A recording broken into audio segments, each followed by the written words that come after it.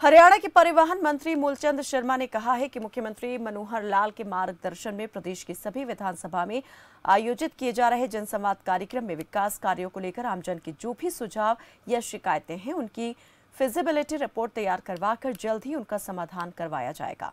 राज्य सरकार ने जन संवाद पोर्टल लॉन्च किया है। आपको बता दें कि मंत्री मूलचंद शर्मा ने सोहना विधानसभा के पाँच गाँव में जनसंवाद किया।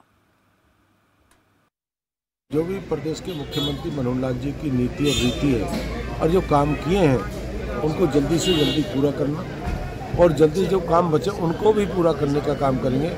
और जो देश में और प्रदेश जो नीति है उसको लागू जल्दी से जल्दी आम व्यक्ति को उसका लाभ मिले और जितना विकास पूरे प्रदेश में देश में हुआ जन जन तक पहुँचाने का। सर ये कार्यक्रम आदरणीय मुख्यमंत्री का जनसंवाद कार्यक्रम है। और जो अधिकारी